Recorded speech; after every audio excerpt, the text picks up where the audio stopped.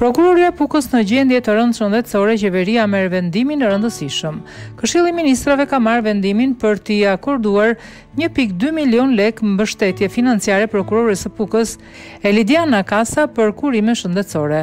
Në vendim thuhet se ky fond të përballohet nga Fondi i Sigurimit të Detyrueshëm të Kujdesit Shëndetësor, Elidiana Kasa ka kaluar me sukses vetingun që prej dy vitesh.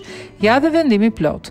Mbulimet e shpenzimeve të mjekimit të zonjës Elidiana Kasa, në mbështetje të nenit 100 të Kushtetutës, të ligjit numër 137 fraksion 2020, për buxhetin e vitit 2021 të ndryshuar dhe në vijim të vendimit numër 20 datë 20 i pari 2021 të Këshillit të Ministrave për financimin e shërbimeve shëndetësore spitalore nga skema e detyrueshme e sigurimeve të kujdesit shëndetësor për vitin dy mijë e njëzet e një, të ndryshuar me pozicionin e ministrit të Shëndetësisë dhe Mbrojtjes Sociale, Këshilli i Ministrave vendosi mbulimin e shpenzimeve të mjekimit të zonjës Elidiana Kasa në masën e një pikë dy milion lekë mbështetje financiare. Ky fond do të përballet nga Fondi i Sigurimit i Detyrueshëm i Kujdesit Shëndetësor.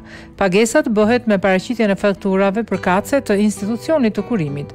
Ngarkohen Ministria e Shëndetësisë dhe Mbrojtjes Sociale dhe Fondi i Sigurimit të Detyrueshëm të Kujdesit Shëndetësor për zbatimin e këtij vendimi. Ky vendim hyn në fuqi menjëherë.